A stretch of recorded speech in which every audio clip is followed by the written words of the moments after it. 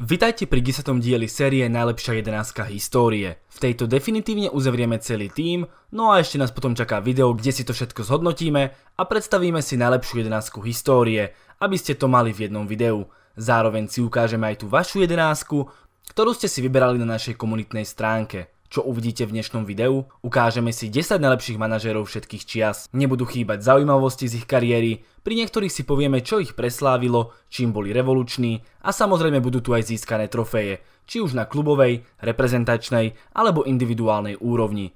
Moje meno je Vilko a vítam ťa na kanáli Fotbal Netradične TV. Manažéri. Ľudia, ktorí vedú týmy za trofejami a nekonečnou slávou. Ľudia, ktorí celé dni nespia, aby ušili taktiku na 90 minút, ktoré môžu rozhodnúť o ich kariére, o kariére hráčoch a môžu vyčariť úsmev, ale aj plač miliónom fanúšikov. Náročná práca a určite nie je veľmi vďačná, pretože ako náhle sa klubu nedarí, schyta to práve manažér. Pritom môže byť chyba vo vedení, v hráčoch, v hocičom inom. Tak to už býva. Futbal je nemilosrdný biznis. Poďme sa teda pozrieť na 10 najlepších manažérov všetkých čias. Ešte predtým, než začnem, napíš mi do komentára meno najlepšieho manažera súčasnosti a k nemu dopíš aj meno toho najlepšieho z celej histórie. Kým si to premyslíš, ja začínam s menoslovom 10 najlepších manažérov všetkých čias. Len v úvode dodám, že určite nepôjde o žiadny taktický rozbor manažérov, pretože o každom tomto pánovi by sme mohli písať knihy, točiť hodinové dokumenty. Ja sa pokúsim všetko zhrnúť do 10 riadkov. Už teraz vám poviem, že zostaviť tento rebríček bolo veľmi náročné, za prvými miestami si vyslovene stojím, ale u ostatných by sme mohli viesť diskusie a určite sa nezhodneme. Poďme na to. 10. miesto. Otmar Hitzfeld. Manažer, ktorý bol úspešný s aktuálne dvoma najlepšími klubmi v Nemecku. Borussia Dortmund a Bayernom Mníchov. Ako manažer Borussie priviedol klub k dvom titulom v nemeckej Bundeslige a taktiež k triumfu v Lige majstrov, čo je pre tento klub stále historickým úspechom. S Bayernom vyhral pre zmenu až 5 ligových titulov a opäť aj jednu Ligu majstrov. Okrem spomínaných klubov viedol aj švajčiarsky národný tím Arauči Grasshoppers. O túto pozíciu zvádzal veľký boj s veľkým počtom manažérov, nakoniec som sa rozhodol práve pre tohto nemeckého zástupcu. 9. miesto. José Mourinho. V mojom rebríčku bude aj táto kontroverzná postava – Mourinho si však toto miesto určite zaslúži. Jeho cesta je nám všetkým veľmi dobre známa, predsa len ide o súčasnosť. Začalo to v porte, s ktorým vyhral pohár UEFA, Ligu majstrov a dva ligové tituly. Mourinho bol taktiež pri prvých úspechoch novodobej histórie Chelsea. Na Stamford Bridge priniesol v dvoch obdobiach tri ligové tituly a stal sa historicky najlepším manažérom klubu. S Interom Milánu získal nezabudnutelné treble a úspech ho stretol aj v Reále, s ktorým získal ligový titul. Angažma v Manchester United mu prinieslo rovnako tak trofeje, no nie tak veľké a významné ako v ostatných kluboch. Mourinhové praktiky budú vždy kontroverzné, jeho vzťahy s hráčmi rovnako tak, no úspech neoklameš aj napriek všetkému zlému je v tomto rebríčku. Zaslúžene. 8. miesto. Giovanni Trapattoni. Ďalším mužom v mojom rebríčku je tento charizmatický talianský manažer ovešaný úspechom. Počas svojej bohatej kariéry viedol tento taktik viacero špičkových klubov. AC Milano, Juventus, Inter Milano, Bayern Mníchov a mohli sme ho vidieť aj pri kormidle Talianska, Írska, Benfiky či Stuttgartu. Najúspešnejšie obdobie bolo určite to v Juventuse, ktoré bolo rozdelené na dve etapy. Celková bilancia za starú dámu činí 6 titulov v série A, 2 tituly v európskej súťaži číslo 2, no a podarilo sa mu aj to, čo sa v súčasnosti Juventusu už dlhé roky nedarí. Trapatony priviedol do Turína aj víťazstvo v európskom pohári teda Lige majstrov. Ďalšie dva tituly v tejto súťaži získal s AC Milánom, ku ktorým si pripísal aj dva tituly v série A. Jeden ligový titul získal aj s Interom a Bayernom. Trapatonyho účinkovanie na medzinárodnej scéne nebolo veľmi úspešné. Vypadnutie v 8 finále majstrovstiev sveta a v skupine Eura proste nemôžeme brať pozitívne. Tento manažer bol na lavičke Irska pri ruke Henryho v baráži s Francúzskom. Na to si asi pamätáte. 7. miesto. Elenio Herrera. Muž, ktorý vymyslel Catenaccio, ktoré je pre mnoho fanúšikov synonymum slova parkovanie autobusu, čo je ale absolútny nezmysel, aj keď pravdou je, že ide o defenzívnu taktiku, ktorá však jeho Interu priniesla obrovské úspechy. Okrem Nerazury viedol veľké množstvo klubov, spomeniem len tie, v ktorých dožal úspech v podobe získaných trofejí. Atletico Madrid, dva ligové tituly, Barcelona, dva ligové tituly, dva zisky Copa del Rey, AS Rím, Copa Italia. Ako som už ale načrtol, najúspešnejší bol v Interi, s ktorým vyhral 3 tituly v série A, dvakrát sa stal víťazom Európskeho pohára a rovnako tak Interkontinentálneho pohára. Herrerov prínos pre futbal bol však obrovský, aj keď na prvý pohľad nejde o zmenu, ktorá by bola pre fanúšikov nejak očarujúca, no treba povedať, že jeho defenzívne poňatie futbalu s prvkami ofenzívy v podobe Faketyho robia z jeho Interu jeden z najlepších tímov v histórii futbalu. 6. miesto. Valerij Lobanovský. Skvelý manažér, ktorému však v širších futbalových kruhoch chýba dostatočné uznanie. Schválne sa opýtajte vášho kamaráta, či poznal Lobanovského. Stavím sa, že povie nie. Kľudne si môžeme urobiť podobnú challenge a píšte do komentárov odpovede. Som fakt zvedavý. Lobanovský spojil svoju najúspešnejšiu časť kariéry so Sovietským zväzom, Dynamom Kiev a Dnitropetrovskom. Práve prvé dve pôsobenia, ktoré boli rozdelené do viacerých období, boli tie najúspešnejšie. V závere kariéry si Lobanovský vyskúšal manažovať aj Kuwait a Arabské Emiráty. Manažerskú kariéru odštatoval Lobanovský v Dnitropetrovsku, s ktorým získal titul sovietskej druhej najvyššej súťaži, no do tohto klubu sa po štvoročnom pôsobení nikdy nevrátil a nasledovalo manažovanie Kieva, Sovietskeho zväzu a následne aj spomínaných exotických krajín. S Kievom získal počas všetkých pôsobení 8 sovietských titulov, 6 titulov v sovietskom pohári, no a na konto si pripísal aj 5 titulov v už ukrajinskej najvyššej súťaži. S Kievom získal dvakrát pohár víťazov pohárov, ale aj európsky superpohár. Na majstrovstvách Európy 1988 získal so Sovietským zväzom striebornú medailu, na Olympiáde z roku 1976 získal naopak bronz. Celkovo sa jeho počet trofejí vyšplhal na číslo 33. 5. miesto. Miguel Muñoz.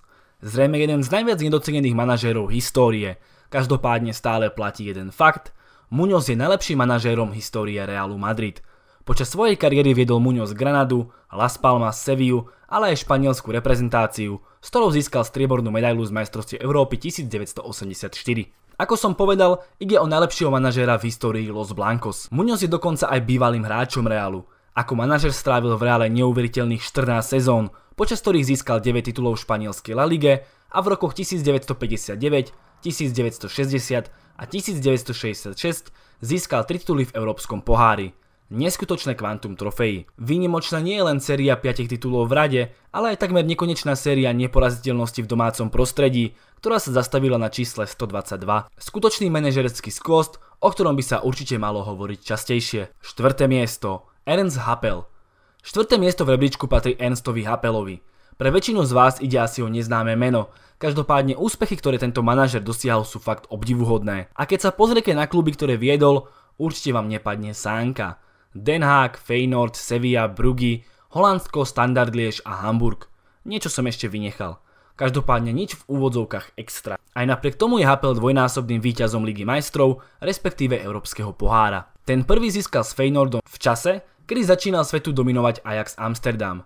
Ten druhý vyhral v sezóne 82-83 s Hamburgom. Obom klubom vyhral aj ligovú súťaž, Bundesligu dokonca dvakrát. Úspešný bol aj v Brugách a trofeje pozbieral aj v iných kluboch. Veľmi blízko bol titulu majstra sveta z roku 1978. Slávne Holandsko však druhýkrát po sebe nezvládlo v finále. Tretie miesto. Pep Guardiola. Je to pre vás šok? Pre mňa ani nie. Pep Guardiola je manažer, ktorý ovplyvnil futbal ako nikto iný zo súčasných manažérov. Do futbalu priniesol vždy niečo nové, niečo výnimočné a navyše bol vždy a všade úspešný. Dokonalá kombinácia. Guardiola je presne ten človek, o ktorého hernom štýle sa budú písať dlhé knihy, podobne ako tomu je v prípade Ereru, Michaelsa či rôznych iných revolučných manažérov. V Barcelone vyhral 3 tituly v La Lige a dvakrát sa tešil z víťazstva v Lige majstrov. K tomu samozrejme aj úspechy v Copa del Rey či na majstrovstvá sveta klubov. Tri tituly získal aj v Bayerne Mníchov, no úspech v Lige majstrov z toho nebol. Aktuálne pôsobí Guardiola ako iste viete v Manchester City, z ktorého vybudoval jeden z najlepších tímov na svete. Na konte už má dva ligové tituly, FA Cup a rovnako tak dva triumfy v ligovom pohári. Zbierka trofejí sa bude určite rozširovať. Skutočný skvost futbalovej scény, ktorý má potenciál útočiť na ešte vyššie priečky tohto zoznamu. Už v tak mladom veku prekonal absolútne legendy. Druhé miesto. Rhinus Michaels. Muž, ktorý vytvoril Total Football a jeho vplyv prečí takmer všetkých, možno čo sa čísel týka úspešnejších manažérov. Michaels je však tým úplne najväčším revolucionárom, akého futbalový svet kedy mal. Jeho revolučný pohľad na futbal spôsobil to, že sa futbal hrá dnes tak, ako sa hrá. Poďme ale postupne. Michael spočiatku trénoval menšie kluby v Amsterdame, až sa prepracoval na manažéra Ajaxu, ktorý vytiahol na jeden z najlepších tímov všetkých čias. Ajax pozdvihol a už v prvej sezóne získal titul a nasledovali ďalšie tri.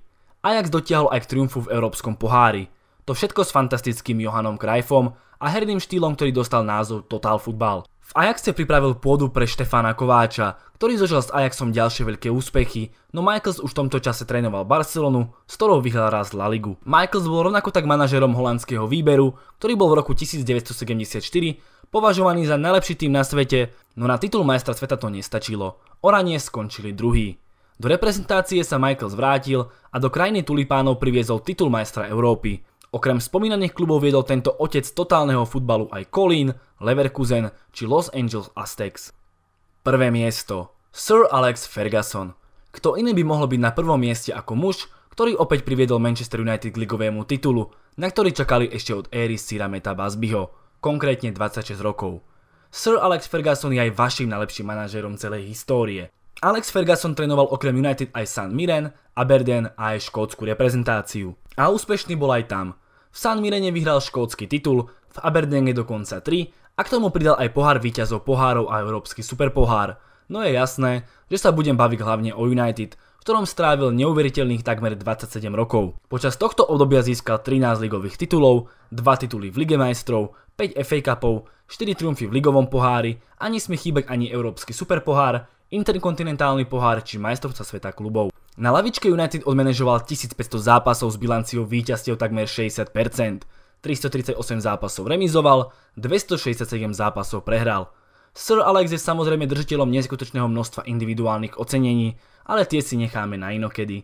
Bez pochyby najlepší v celej histórii a jeho množstvo trofejí spojené s tým, že to všetko vyhral prakticky na úplnom vrchole a prakticky v jednom klube je niečo, čo sa bude prekonávať len veľmi ťažko. Súhlasíte s môjim výberom? Je Sir Alex najlepším manažerom histórie aj podľa vás? Napíšte do komentu. Týmto videom končíme menoslov najlepších a ešte nás čaká jedno video, kde si to zhrnieme a ukážeme si aj vašu najlepšiu 11 futbalovej histórie. Moje meno je Vilko a teším sa na teba pri ďalších videách na kanáli Fotbal Netradične TV. Nazdar.